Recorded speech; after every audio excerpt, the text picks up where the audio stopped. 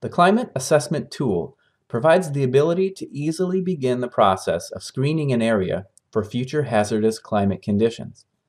Information is organized around five themes extreme heat, drought, wildfire, inland flooding, and coastal inundation. Start by entering location information such as address, zip code, or select an area from the map. The assessment tool integrates multiple data sources at the county, census tract, and tribal land geographies. On the left, you'll notice the five hazard categories. By clicking each hazard, a variety of related climate conditions are displayed in the middle section.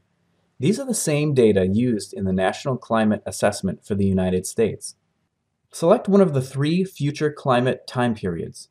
Each is a 30-year average, with the early century centered on 2030, mid-century on 2050, or late century on 2085. A variety of statistics are reported for low and high greenhouse gas emissions scenarios. These provide the range of conditions that could be experienced. By clicking each of the climate indicators, you'll see a graph on the right that displays the range of data expected for each time and emissions scenario. The Table tab provides a tabular summary of the same data.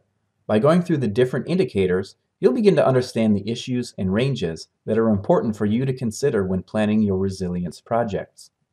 The Map Exploration tab provides map visualizations and summaries of the same data. In addition to climate data, the Flooding Hazard section displays maps of the current FEMA National Flood Hazard Layer, which is used to determine if additional flood insurance is needed to protect your property. Maybe you're in a 500-year floodplain but are expected to receive a significant increase in precipitation by 2050. These types of data integrations are a key component of the initial assessment process. In the coastal inundation visualizations, you'll also find sea level rise assessments displaying areas expected to be underwater based on future climate projections. While clicking around, you'll notice two flags in the upper right-hand section of the map. The first denotes if the county or tract selected are considered a disadvantaged community and are thus prioritized for federal funding.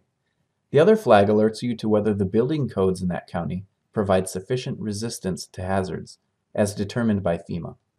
All of the summaries provided in the Climate Assessment Tool are consolidated into these report templates, one for each county, tract, or tribal area and hazard topic. The report that you access is determined by the pinned location in the assessment tool. These reports can be bookmarked, downloaded, or printed. Definitions and additional context can be accessed by clicking on some of the field names or icons. There's also support for using the assessment tool on this page, where you can see how the tool can be used by different audiences, or to access a more in-depth how-to guide.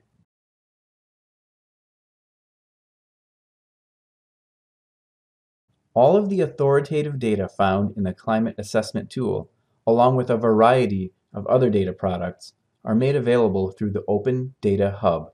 Each resource has access to WebGIS-enabled layers available as ArcGIS REST services, Open Geospatial Consortium services, APIs, and even downloads where available.